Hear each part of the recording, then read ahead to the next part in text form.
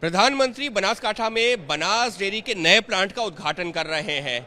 लेकिन इस नए प्लांट की ज़रूरत क्या है? और यहाँ पर जो पहले से प्लांट है, उससे स्थानीय किसानों को किस तरीके का फ़ायदा मिला है? यही समझने के लिए यहाँ पर कुछ स्थानीय किसान हैं। इनसे बात करते हैं कि आखिर इस इलाके में दूध का उत्पादन क्या वाकई में पहले की तुलना में बढ़ा है? और इस नई, नए प्लांट से क्या फ़ायदा मिलेगा? ऐसे ही कुछ किसान हैं। क्या नाम है आपका? दरगाह भाई। दरगाह भाई ये बताइए कि दूध उत्पादन आप कितने सालों से कर रहे हैं? हम दूध उत्पादन तो करते हैं दस साल से। दस साल से। हाँ। जब आपने शुरू किया था तब कितना उत्पादन करते थे और आज की तारीख में कितना उत्पादन कर रहे हैं? शुरू में तो हमारे पंद्रह दिन में पाँच हज़ार आते थे अभी पच्चीस हज़ार आते हैं। कितने दिनों में? पंद्रह दिन में। पंद्रह दिन में? हाँ पच्चीस हज़ार आते हैं। पच्चीस हज़ार रुपए आते हैं। हाँ। और पहले सिर्फ पाँच हजार आते थे हाँ मतलब पाँच गुना हो गया પાંચ ગુના હો ગયા अच्छा तो उसकी वजह क्या है બધા એ ડેરી બની નવી નવી એટલે એનાથી ફાયદો થયો ગાય લાવી વધારે એનાથી અમે અમને ઉત્પાદન મળે तो डे, डे, डेयरी बनने से क्या फायदा होता है वैसे तो ये डेयरी यहाँ पर बना अ, में एक डेयरी पहले से थी नए प्लांट का उद्घाटन भी हो रहा है इससे क्या फायदा होता है इससे जू- दूध ज़्यादा आता है तो कहाँ क्या था हाँ एक- उसको एक बोलो मिनट। हाँ आपका क्या नाम है बोला भाई बाला भाई ये बताइए अगर हम पहले की बात करें पहले आप कितना उत्पादन करते थे दूध का? और जब डेयरी का इसका पहला प्लांट बना था तब क्या फ़र्क पड़ा? हमारे पहले पच्चीस पच्चीस से तीस लीटर रोजिंदा था। अब की अभी सौ से एक सौ पच्चीस लीटर तक जा रहा है। मतलब करीबन पाँच गुना हो गया। पाँच गुना पाँच पाँच गुना हो गया। ये कैसे हुआ? ये वो वो डेयरी डेयरी प्रशासन से डेयरीज का डेयरी- डेयरीज का शासन मैनेजमेंट है इसीलिए उसका सही वहीवट है सही दाम मिल रहा है पहले हमारे क्या दूध घर पे रखना पड़ता था। सही मैनेजमेंट नहीं था। इसीलिए अब की बार डेयरी प्रशासन और डेयरी चेयरमैन का सही विजन से अभी ये प्लांट के बनने से प्लांट के बनने से आप लोगों को जो है क्या फ़ायदा? प्लांट तो पहले से भी एक था ये नया प्लांट बन जाएगा इससे क्या फ़ायदा मिलेगा? नया प्लांट से नई नई प्रोडक्ट बन रही है। हम हमारी प्रोडक्ट बाहर जा रही है। इसीलिए हमारे को बहुत ज़्यादा मिल रहा है। की, कीम, कीमत भी जो है आप लोगों को पहले की तुलना में ज़्यादा मिल रही है क्या? हाँ? कीमत भी जो है पहले की तुलना में ज़्यादा मिल ज्या- ज़्यादा मिल रही है। ज़्यादा मिलती है। बिल्कुल। और पशुओं को जो है पहले कितने पशु आपके पास से आप कितने हैं? पहले मैं हमारे पास पंद्रह बीस पशु थे अभी चालीस पैसा पचास पशु है। चालीस पचास है। क्या नाम है आपका? मासूम भाई। मासूम भाई ये बताइए कि क्या फ़ायदा मिल रहा है अभी पंद्रह दिन में रोकड़ा रुपया आता है और ये सरकार का बहुत बढ़िया काम है। मोदी साहब ने आया सब किया। तो नया प्लांट बन रहा है। वैसे एक प्लांट पहले था तो तो क्या जो पहले प्लांट में जो जितना आप लोग प्रोडक्शन करते थे उत्पादन करते थे वो पूरा नहीं जा पाता था? नए प्लांट बने तो कोई फ़ायदा होगा? इससे फ़ायदा ये ना ये सरकार आई मोदी भी आए ये चेयरमैन साहब आए इसलिए तो बहुत ही हमारे फ़ायदा ही है। और पंद्रह दिन में तरह से फ़ायदा है? हाँ दूध का। क्या? फ़ायदा ये ना बहुत दूध आता है। हाँ मेरा नाम रावता भाई है। रावता भाई रावता भाई ये बताइए कैसे आपको क्या फ़ायदा मिल रहा है? और नए नए प्लांट बनने से क्या फ़ायदा मिलेगा? प्लांट नया प्लांट बनने से ये फ़ायदा फ़ायदा मिल रहा है। जो बटर का बटर वहाँ पर नहीं बनती थी यहाँ पर बहुत ज़्यादा बन रही है। फिर भी वो चॉकलेट जैसी आइटम है वो वहाँ पर नहीं बनती थी। इस पर दस और अलग अलग तरीके की। यहाँ पर दस मेरे को नहीं तो नहीं। दस प्रोडक्ट और और आ रही है आइसक्रीम की। चीज़ बन रहा है। तो आप लोग पहले जितना दूध उत्पादन कितना आप करते थे अगर हम जो है जब यहाँ पर प्लांट नहीं था कितना उत्पादन करते थे प्लांट बनने के बाद में और अब नया प्लांट बनेगा तो इससे क्या फ़ायदा मिलेगा? पहले जब नया नया जो प्लांट नहीं था यहाँ पर था उसमें उसमें दूध का एक एक दिन हॉलीडे रखना पड़ता था।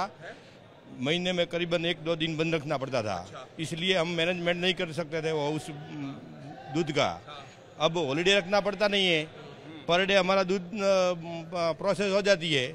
इसीलिए तो जब प्लांट नहीं था तब आपके पास कितने पशु थे? आज की डेट में कितने पशु हैं? महीने की कमाई पे क्या फ़र्क पड़ा? महीने की कमाई में तो करीबन डबल हो गई है डबल हो गई। हमारे पास पंद्रह थे गाय पंद्रह गाय थी। अभी मेरे पास सत्ताईस गाय है। अच्छा। हाँ। और सबका जो दूध पूरा जो है आपको कहीं वेस्ट नहीं होता है? वेस्ट नहीं होता। हमारे गाँव में बल्क लगा हुआ है। हवा ठंडा होकर यहाँ पर आता है। पहले तो कैन थे। इसमें खराब होता था। अच्छा। हाँ। तो अब जो है दूध जो है खराब होने का कोई डर नहीं कोई डर नहीं कोई खराब होने का डर नहीं कोई पेमेंट का डर नहीं कोई मैनेजमेंट का डर नहीं। सब कुछ बहुत बढ़िया तरीके से हो रहा है। तो ऐसे अब जो नया प्लांट लग रहा है तो उससे अब आप लोग और पशु भी खरीदेंगे क्या? और पशु खरीदेंगे हम। पशुओं के कीमत बढ़ गई है ना। अच्छा। ये मार्केटिंग होने से पहले जो हम पचास हज़ार में लाते थे ना गाय उसका बीस पंचहत्तर अस्सी हज़ार हो हो गया है। अच्छा। तो अभी की बढ़िया गाय तो मिलती ही नहीं है। लेकिन फिर भी आप लोग उस कीमत पे भी खरीद रहे हैं। हाँ हम खरीद रहे हैं। विश्वास है विश्वास तो है। मेरे को भरोसा है। भरोसा है। आपसे जानना चाहेंगे जब प्लांट पहले भी पहले जब नहीं था प्लांट कितने पशु थे आप लोग? मेरी बात सुनो। ये इलाके में बनासकांठा इलाका है इसमें पानी की बहुत बड़ी दिक्कत है। पानी की दिक्कत है इसे सिंचाई का पानी मिल नहीं रहा है। सिंचाई का पानी नहीं मिल रहा है इस हिसाब से खेती नहीं कर पा रहे हैं। बस एक ही अभी हमारे पास विकल्प बचा है, वो पशु रखो और दूध भराओ। ये मैनेजमेंट है और मोदी साहब की देन है और शंकर भाई चौधरी साहब है कि जो उसका लीडर है। इसीलिए आज सब पशुपालकों को और सब खेडूतों को यह भरोसा है कि अभी अपने को सिंचाई का पानी नहीं है, लेकिन पशुपालन के माध्यम से कुछ कर पाएँगे। तो अगर हम जो है आपके गाँव की बात करें टोटल जो है कितने किसान हैं और उसमें से कितने अब दूध उत्पादन कर रहे हैं जो पहले नहीं करते थे? हाँ हाँ। हमारे लगभग पाँच हज़ार बस्ती है भाटी गाँव में। पाँच हज़ार में से लगभग देखो तो एक हज़ार छोड़ के चार हज़ार तो किसानी है। और 1200 फुट तक हमारे वो बोरवेल ट्यूबवेल बो, बोलते हैं ट्यूबवेल? चार हज़ार में कितने लोग अब पशुपालन ही कर रहे हैं? चार चार हज़ार। पूरे सब पूरे पूरे चार ही चार हज़ार। मतलब पूरा गाँव अब जो है दूध का पालन पशुपालन के दूसरा मैं बोल रहा हूँ ना अभी के 1200 फुट का बोर बना दिया फिर भी पानी पीने लायक नहीं मिलता है। तो पानी नहीं है इस वजह से उसका वैकल्प किए है कि इसका उत्पादन करो दूध का। लेकिन वो दूध दूध की खपत हो जाती है पूरी? हाँ हाँ यही तो विकल्प है। अभी जो तो हमारे पास चार पशु होंगे कि दस होंगे जो उसका दूध लेके इन पैसों से हम बच्चा बच्ची की पढ़ाई कर सकेंगे अपना जो घर का रीति रिवाज है जो देना पड़ता है वो भी उससे पगार आता है तभी काम चलता है। तो ये नया प्लांट बनेगा उससे क्या फ़ायदा मिलेगा? नया प्लांट मानो के पहले क्या होता था मालूम है? एक महीने में एक दो रजा रहती थी। अभी मानो के आपके पास मानो के सौ लीटर दूध है रजा रहती है तो दो टक का दो सौ लीटर हो गया। वो 200 लीटर दूध कहाँ जाएगा? जो एच एफ़ गाय है उसका दूध वो वो वलोना करना पड़ता है इसमें तो काम आता नहीं है। अंत करते हैं तो इतना उसमें कोई बचता नहीं है। तो करे क्या? तो यही तो प्लांट की अभी ज़रूरत है। अभी इससे भी थोड़ा बड़ा हो तो भी ज़रूरत है। इससे बड़ा होगा हाँ। हमारी साइड दानेरा है ना? नहीं नहीं, तो इससे बड़ा की भी अगर होगा तब भी दूध की खपत हो जाएगी। हो जाएगी हो जाएगी। अभी देखो तो साहब एक करोड़ के पहुँचे पहुँच गए जो हमारी साइड साहब को मैं विनती करता हूँ कि ये धानेरा साइड भी एक प्लांट लगाए। मतलब ये वो किसान है ये बनासकाठा इलाका है जो इन्होंने बताया कि यहाँ पर जो ज़मीन से इस तरह से पानी है बहुत नीचे है खेती हो नहीं सकती सिंचाई हो नहीं सकती। किसानों के सामने दिक्कत ये है कि अगर खेती नहीं करेंगे तो क्या करेंगे? उसका विकल्प ये सुझाया गया है कि आप पशुपालन कीजिए। देश में दूध का उत्पादन कम होता है जो ज़रूरत है मांग ज़्यादा है।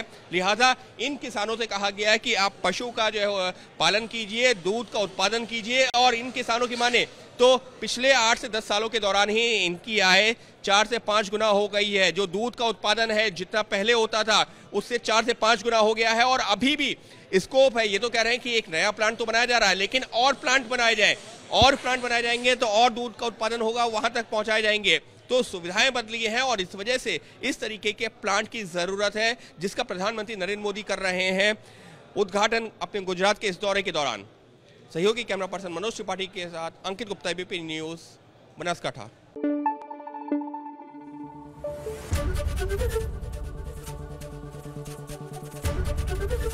ABP Ganga, खबर आपकी जुबा आपकी।